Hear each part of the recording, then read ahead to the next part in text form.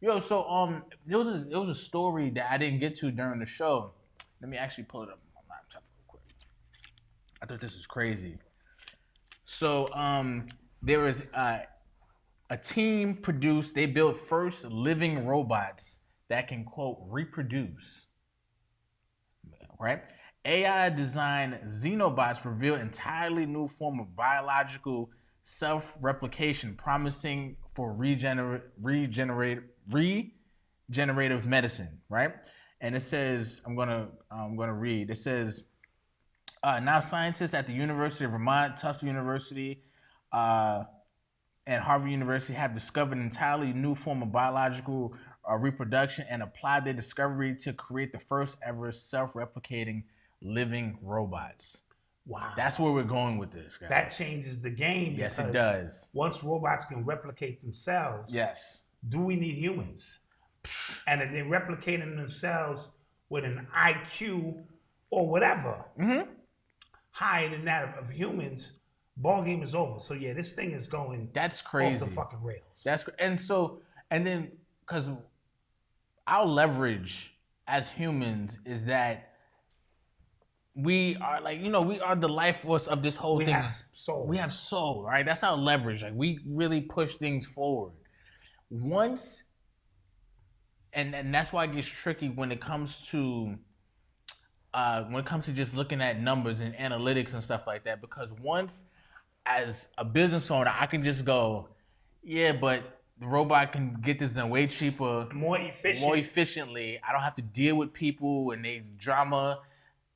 You, you get what I'm saying? They, but we, they- we're seeing that now with if you're getting sneakers and clothing manufactured Mhm. in them third world countries Mm-hmm. where you're paying crumbs because at the end of the day you're looking for the maximized profit you can make. Yeah, your, And margins. We yeah, once we cross the line, and I know this machines can flip 75 burgers efficiently, no burns, is always on time, never gets an order wrong because it, it took your voice into what you ordered.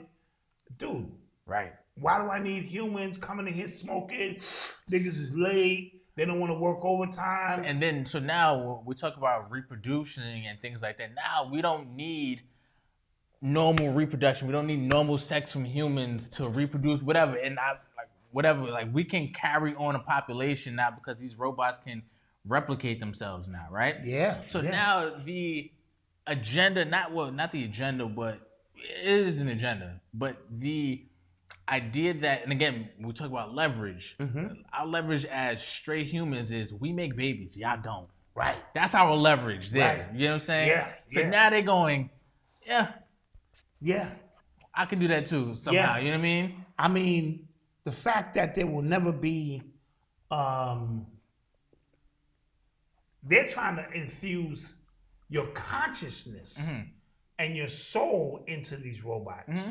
If they do that, then it's really over. Yeah. Because you got a spirit, a soul, which they don't have. So they're very linear in their being. Mm-hmm. Once they're able to infuse your consciousness, but your consciousness is everything. Right. And imagine they could put your consciousness in another person. Yeah. After you get old and worn down, and you remember who you are. That was Get Out. The movie Get Out. Yeah. So, um, you know, that's uh, something else on the table. But they're trying to put them shits into robots Yeah. and give these robots more of a humanized experience. So you know what's crazy? Um, the chess champion, like the all-time chess champion, Garry Kasparov, I think I think is his name. He was famous for uh, going against a supercomputer in a chess match, right? So I think he beat beat the computer once. The next time the computer beat him, and then the question was like, so if a computer can do all of this, like, what's the point of even people going? He goes, he said something that was deep. He goes, computers think of just numbers, right? Logical stuff. He said it's the human that has a different thought when it comes to risk. You know what I'm saying? I I have a feeling that this could work. Right, right. So it's a different feeling on what when we talk about AI and these things.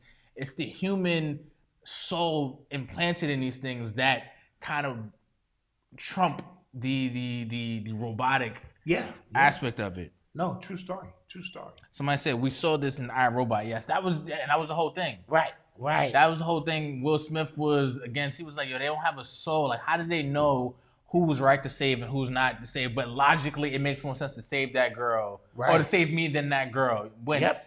I would have saved that girl, the Mhm. little girl. You know what I mean? If you if you've seen the movie, right. Black Mirror, the Black Museum episode. Yes. that was deep. Yes.